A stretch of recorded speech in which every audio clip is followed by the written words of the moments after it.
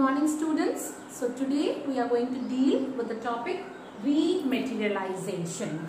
So we have already discussed the topic dematerialization, isn't it? So dematerialization means when physical share certificates are converted into electronic form, it is known as dematerialization.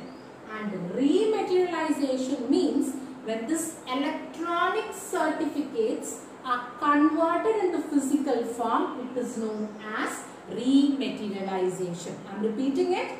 Rematerialization means converting electronic certificates into physical form is generally termed as rematerialization.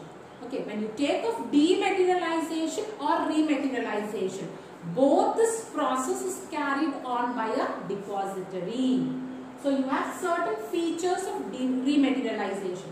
What are the features is, the first feature of rematerialization is, rematerialization can be carried on by the client at any time. Okay, there is no prescribed time, you can carry on rematerialization process at any time. And the second feature of rematerialization is, the process of rematerialization generally gets completed within 30 days. That is, it takes 30 days time to rematerialize your share certificates. And the third feature of rematerialization is the shares which are to be rematerialized cannot be traded. And the last feature of rematerialization is the rematerialization of shares generally require enough balance in demat account. Only four features are satisfied, you can use rematerialization. So the first feature of rematerialization is you can rematerialize your account anytime. The second feature is it takes 30 days to rematerialize your shares.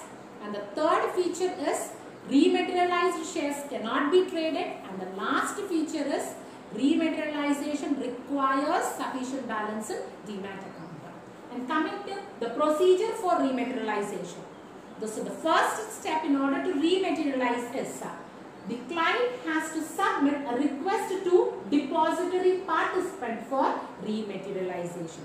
So if you want to rematerialize, the client has to submit a request form to the depository participant to remat your holdings. That is whatever shares you have, that has to be rematted. You have to give a request to depository participant. And the second one is once you give a request to the depository participant, the depository participant generally verifies your details. What the depository verifies is, it verifies whether your request form is fully filled, signed and stamped. And it verifies your signature with the specimen signature of your request form you have given earlier. And the third one is, it verifies your balance in demat account. Because if you have balance in demat account only then you can rematerialize your account. Otherwise you cannot do it. So these are the three verifications which is done by DP once verification is over that is if you have sufficient balance in your demat account then the depository participant will enter the request in DPM so DPM is a software where it will generate a remat request number so here what the depository participant does is your request will be entered a software which is named as DPM and this software on submission of request will generate a number and that number is known as remat request number. And this remat request number is verified by another person other than depository participant because he is the person who is dealing with your shares.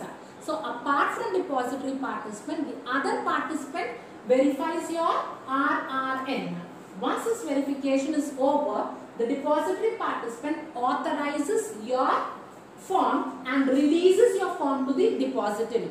And what this depository does is, depository forwards your request form to the issuer electronically.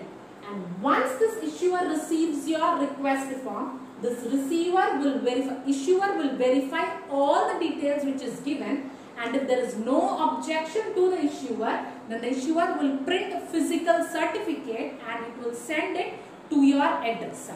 Once that is sent, the issuer also sends a confirmation mail to a depository. Once this confirmation mail is received by a depository, information is intimated to the depository participant by the depository.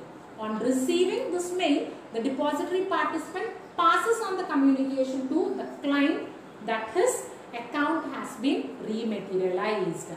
This is regarding rematerialization. Thank you.